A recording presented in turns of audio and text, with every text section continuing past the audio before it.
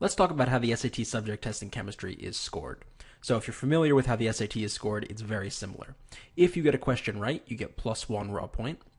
If you omit a question, that is, you don't actually put down an answer, you get no credit. And if you put down an answer and you get it wrong, not only do you get no credit, you actually lose a quarter of a point. And we'll talk about what this means for guessing in a little bit. The one other important thing to mention before we go on to guessing is related to the scoring rubric. The scoring rubric for the SAT subject test is actually pretty generous. So this is just an example rubric from one of the practice tests. Notice you can get pretty much three wrong and still be in the 800 region. Uh, more or less, though with the minus one quarter penalty, it makes things a bit trickier.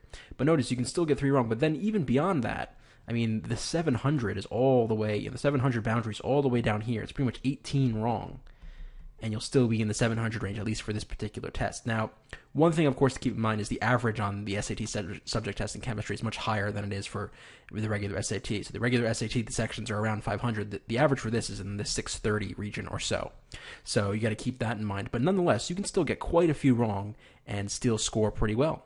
Um, so just keep that in mind that the curve is pretty generous. You don't have to answer every single question to get a really good score. Uh, so keep that in mind.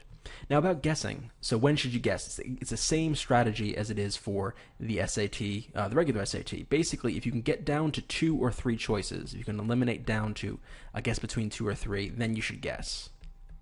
If you're only down to one, or you can't eliminate any, I don't recommend guessing. It's just not really going to be worth it for you. You're, more often going to hurt yourself than you are going to help yourself in those situations. But if you can eliminate down to two or three, definitely guess. And this is going to be useful because there might be some questions that you don't know exactly the answer, but you know at the very least how to get to the answer, or at least how to eliminate choices, and therefore get down to a good guess.